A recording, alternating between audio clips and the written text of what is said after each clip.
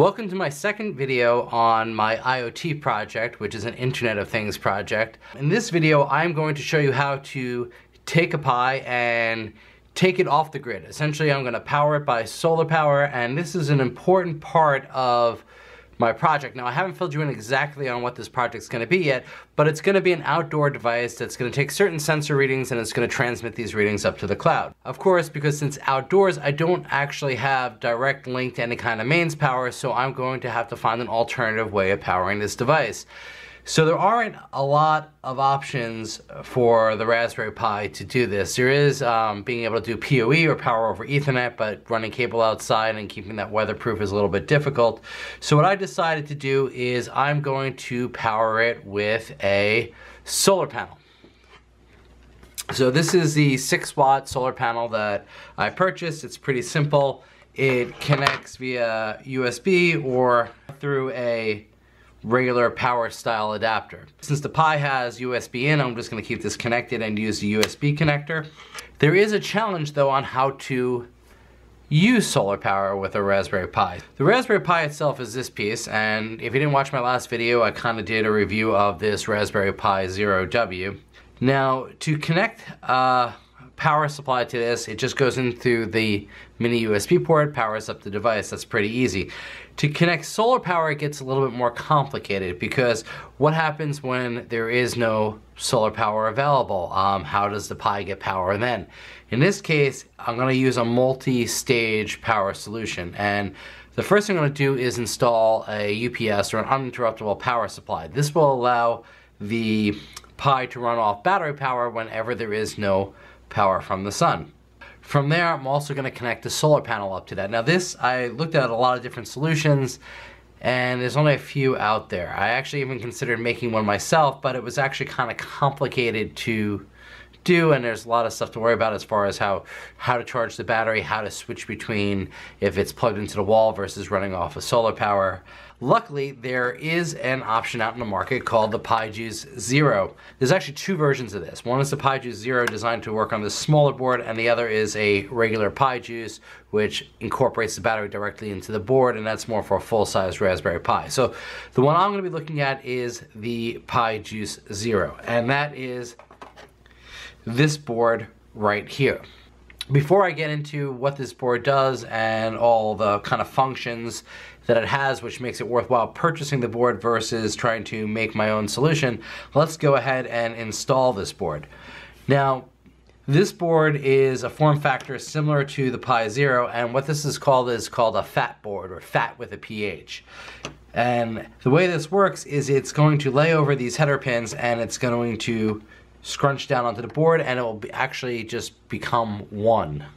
But before I do that, I need to install these standoffs, and these standoffs will make it so that the backside of the board doesn't short circuit anything on the main Raspberry Pi board. So let's go ahead and do that and install the standoffs and screw and attach the Pi hat to the top of it.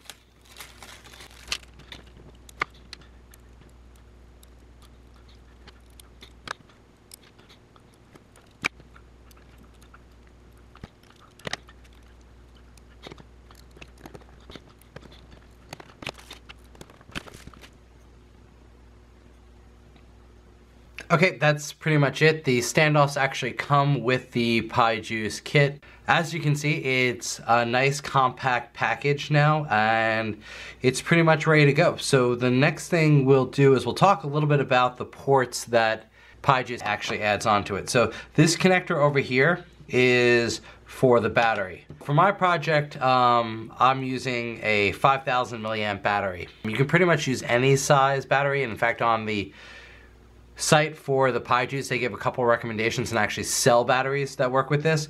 5000 seems to be a good in-between um, as far as size, weight, and how long it could power the system. So this will connect to that port. The only other port to add input on this as far as power or connecting peripherals is is this second USB mini port and this is going to be the one where the solar panel will connect. Now if I was just using this as a battery backup, I could plug mains power into here, much like I did with the regular Raspberry Pi and just connected a USB adapter to it. But in this case, this will be the connector for the solar panel, this will be the connector for the battery, and then all the sensors can connect along this board top over here where there's uh, the headers from below are passed through to the top. Now, I have to be careful because some of the header pins that do pass through to the top of this Pi hat are used up by the Pi hat itself. Now, inside the directions for the PiJuice uh, FAT, are the pin layouts. And these don't actually come in the box, but the box does come with this card. And this card points you to the Pi Supply website. And on their website, they have a lot of information on how to get this connected. Also in the box is this FCC and uh, EU compliance card to show that this is CE certified and FCC certified. That was another reason that I wanted to go with something off the shelf as opposed to building something as complex as this because now I do not have to actually go through any kind of rating system to make sure what I did doesn't interfere with anything else and this component is ready to go to be part of my project. I now have the Raspberry Pi and the PiJuice connected back up to the keyboard and the mouse. I have the HDMI cable uh, connected for a monitor, and I'm gonna go ahead and power this up. Now I have two options for powering this up right now. I can power it up through the Raspberry Pi board or through the connector for the PiJuice. In this case, for the first um, kind of boot so that I can load the software, I'm just gonna go ahead and plug this into the normal Pi connector.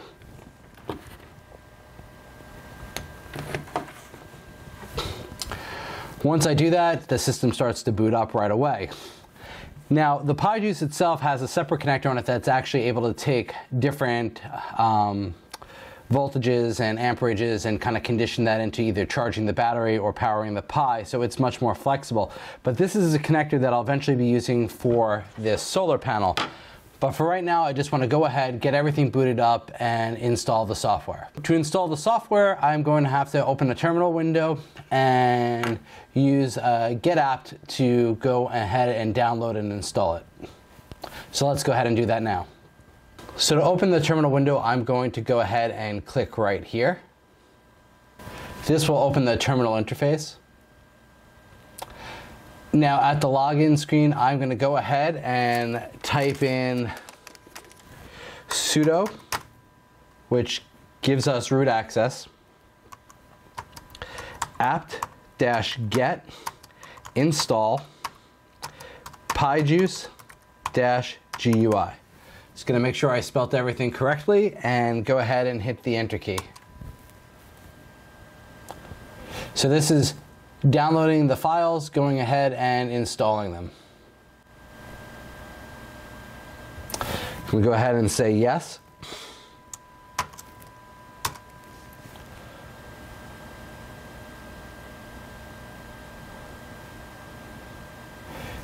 Okay, now that it's installed, I'm going to go ahead and close this window. And we're going to restart the Pi.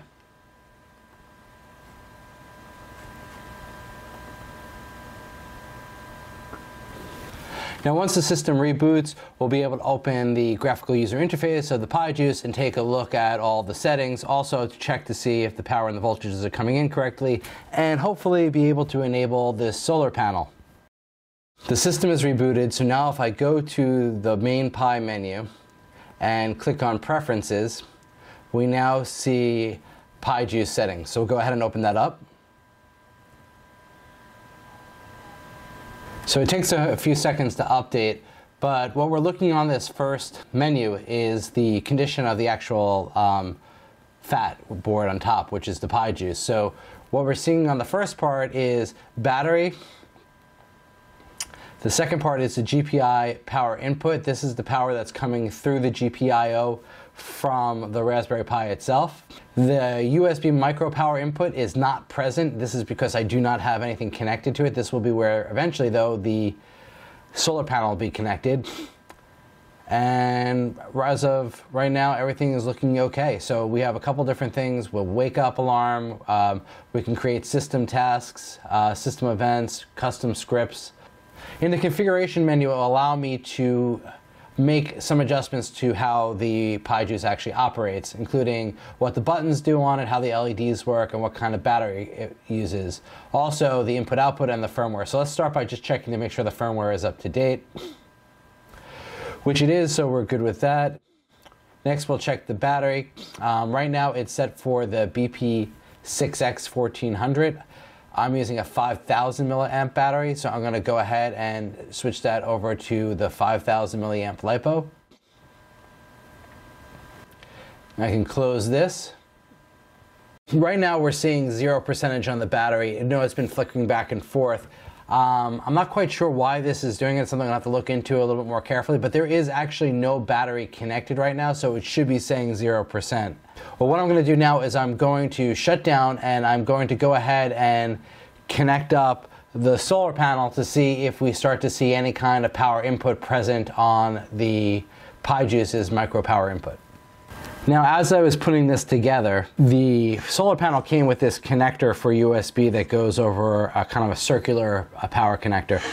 It doesn't fit on the board because it's a right angle. This won't be a problem in the final project because this HDMI cable won't be present, but right now it is a problem. So I had to go get this adapter that basically is just a, a female to male adapter and it's straight so it won't interfere with the HDMI cable. So I'm gonna go ahead and plug that in. And then I'm going to connect it up to the board. And now we will go ahead and start it back up again. Now when there's power coming in through the PiJuice itself, there's a button on the side that's used to boot up the Pi. If it wasn't connected to here and we're just using the Raspberry Pi Zero, just connecting the power cable will cause the Pi to boot. Now we'll go back we go to the preferences and check out the PiJuice settings again. And now we can see that on the USB micro power input, there is power present. Now this is switching between bad and present, most likely because I'm indoors right now, um, just working under internal lights, so there isn't a lot of uh, power being generated by the solar panel. But maybe if I switch it around or turn it towards uh, some of these lights that I'm using to light up this work surface, um, we'll see it comes back on again. So really the solar panel is working fine. It doesn't have the best light in here. We'll have to test this outside eventually.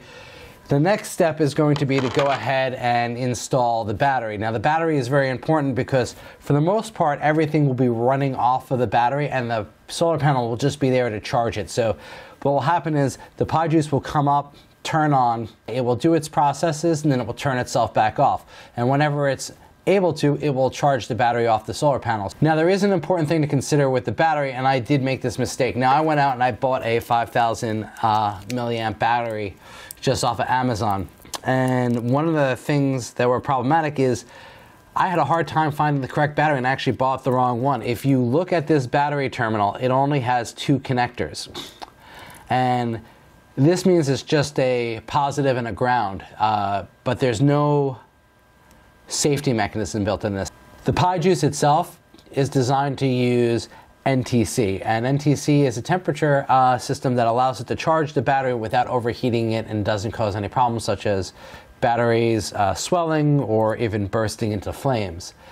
The kit comes with a connector that allows you to use your own thermistor to do the battery charging, but I had a hard time even finding one of those to put on this battery through any of the sources I could find locally. So what I did go ahead and do is I ordered a battery that has a built-in one and that actually had to ship overnight from Europe. So it will arrive probably next week. So for now, we're going to take a little break from this project and we will come back to it once I get the proper battery and then we'll go ahead and install it. It's a few days later and the replacement for this battery pack has arrived. And I was actually kind of surprised at how big it was. This will be fine for now, but I'm gonna have to rethink my enclosure for this project um, once I have it done. So let's uh, go ahead and wire this up and see what happens. The battery just connects right to this three pin plug right here. Just gotta make sure that you have the signal, the ground, and the intelligent part of the cable in the right direction and that plugs in. If you notice the little green light came on because it is receiving power from the battery. I'm then going to go ahead and plug the solar panel just to see what happens uh, with the battery connected. And I'll plug that into the power input on the PiJuice. And finally, I'm just gonna plug in the mains power and that will start the Raspberry Pi booting. My goal is to be able to remove this and run strictly off solar power, but for this first boot, I'm gonna connect everything and we'll just see what happens. The Pi is now booted up, so let's go ahead and open up the PiJuice preferences.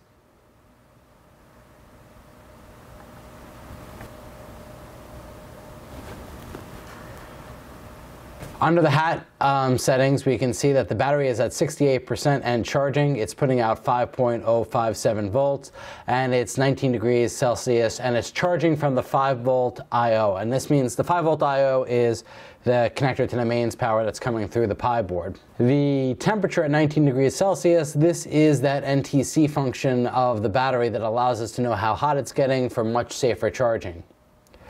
The GPIO is good. Um, the USB micro power input, this is the solar panel that is saying present. There's no faults. Let's go ahead and see what happens if I cause a problem by removing the mains and all of a sudden it goes to solar and battery. Now the main power is removed and we can see that the pipe is none the wiser, it's still running fine off of battery power. Though the USB micro power adapter uh, input is saying bad now, and that's because the solar panel isn't getting enough light.